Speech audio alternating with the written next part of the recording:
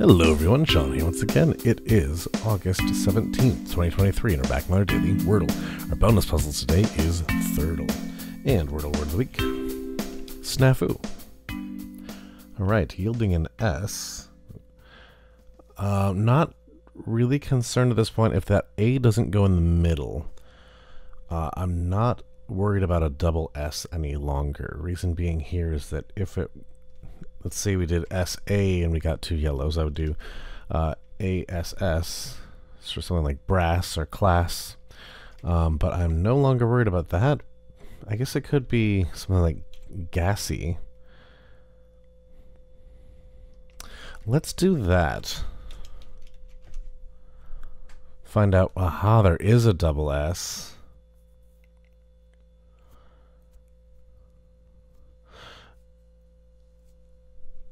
would it still go at the end? I guess uh, that original assumption of that A double S at the end not really work in there. We could do the word amiss still.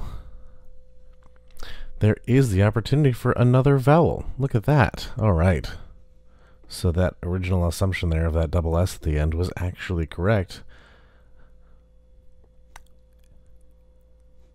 Bit of luck there for sure, undoubtedly. Let's find out from WordleBot. 83 skill, 84 luck. All right, that makes a lot of sense. So, uh, 62 words left after that. One word after gassy. It was indeed amiss. Uh, now, I want to go through the details here and find out how many double S's there were. Not that many, actually. Essay, assay, asset, abyss, amiss, gassy. Uh, Passe Mass Lasso.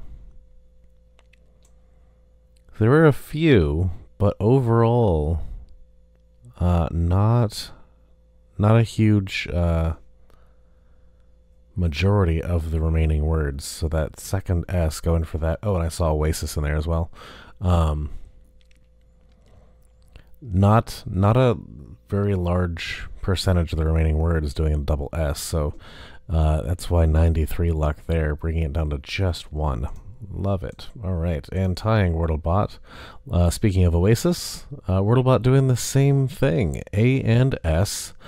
WordleBot checked for the uh, double S, and it checked for the I using Oasis.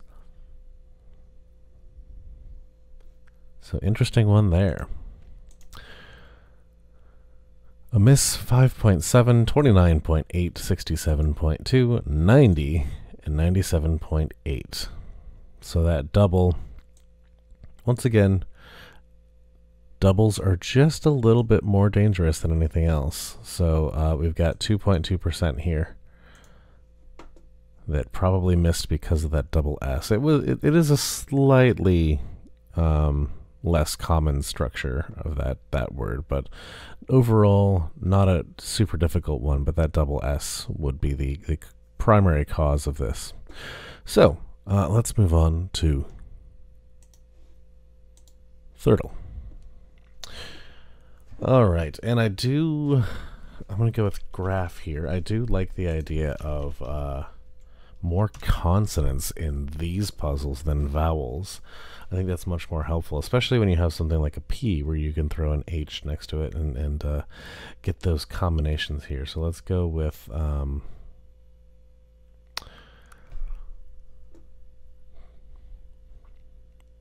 P L plaid. Speaking of vowels, if I do plaid there, should I go back and change this A to something else? Probably not. I'm not actually super worried about it. Um, and this is going to be a little bit strange, but I'm going to do the word quiet here just to get the U and E on the board as well as the T. So I, I wasn't really counting on the Q, although if it did show up, that would be a ton of information. Um, what do we have? We have P-L-A-I. This could be plain, Let's just start there. Uh, and once again reminding, purples are in the wrong word. So this is gonna, not going to be an R or a T. That means that there is a T in this word, and there is an R in this word. We can do crier.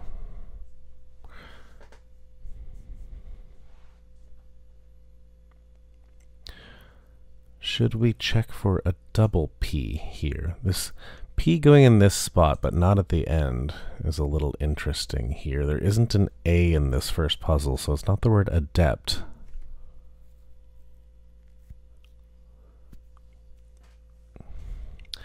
So why don't we check for the word tippy, just in case there's a double P.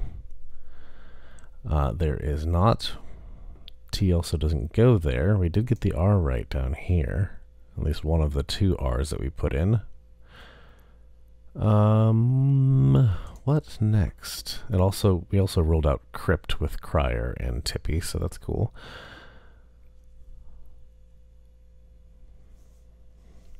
Now I don't know if the S is ruled out in the same way that it would be in Wordle, so let's check that next. Let's check the word whoops. And then, how about fries? Let's do the same thing down here with that S. Okay. So this is going to be the word grief or brief. G is already ruled out, so this is going to be brief. And then up here,